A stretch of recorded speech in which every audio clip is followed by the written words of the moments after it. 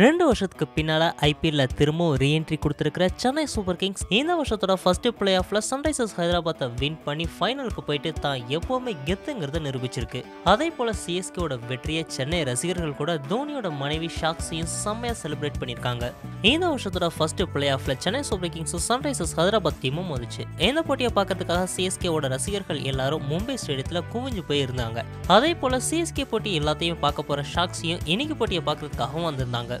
இந்த போட்டியில் toss win பண்ண சிஎஸ்கே ஃபர்ஸ்ட் பவுலிங்கை சூஸ் பண்ணிச்சு. அதன்படி பேட்டிங் பண்ண ஹைதராபாத் சிஎஸ்கேவோட பவுலிங்கில் சிக்கி தடுமாறி கடைசி நேரத்தில் நூற்றி முப்பத்தி ஒன்பது ரன்கள் எடுத்துச்சு. நூற்றி நாற்பதுங்கிற ஈஸியான டார்கெட்டை நோக்கி சிஎஸ்கே கிளம்புறதுனாலும் கூட அதன் பின்னால் வரிசையாக விக்கெட் பறி கொடுக்க ஆரம்பிச்சது. ஒரு கட்டத்தில் சிஎஸ்கே நூறு ரன்கள் எடுக்கிறதே பெரிய விஷயங்கிற நிலைமையில இருந்துச்சு. ஆனால் அதன் பின்னால் டியூப்ளிசஸோட அதிரடினால சிஎஸ்கே கடைசி நேரத்தில் லாஸ்ட் ஓவரில் வின் பண்ணுச்சு.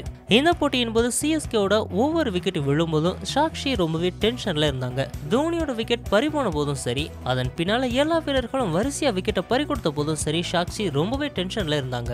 ஒரு கட்டத்தில் இன்னைக்கு போட்டியில் நாம வின் பண்ணுறதுக்கான வாய்ப்பே இல்லைன்னு நினைச்ச சாக்ஷி மேட்ச் பார்க்குறத விட்டுட்டு மொபைல் எடுத்து யூஸ் பண்ண ஸ்டார்ட் பண்ணார். ஆனால் அதன் பின்னால லாஸ்ட் ரெண்டு ஓவரும் சிஎஸ்கே அதிரடி காட்ட ஷாக்ஸி செம்மையா செலிப்ரேட் பண்ண ஆரம்பிச்சாங்க. கடைசி நேரத்தில் சிஎஸ்கே வின் பண்ணதை ஷாக்ஸி துள்ளி குதிச்சு கொண்டாடினாரு. அது மட்டும் இல்லாமல் பெவிலியன்ல இருந்த ஷாக்ஸியும் அவரை சுத்தி இருந்த எல்லாரும் தோனி தோனின்னு ரொம்பவே சத்தமா கத்தி அந்த மூமெண்ட்டை ரொம்பவே சந்தோஷமா செலிப்ரேட் பண்ணாங்க. மேலும் தகவல்களுக்கு சப்ஸ்கிரைப் பண்ணுங்க. One India Tamil.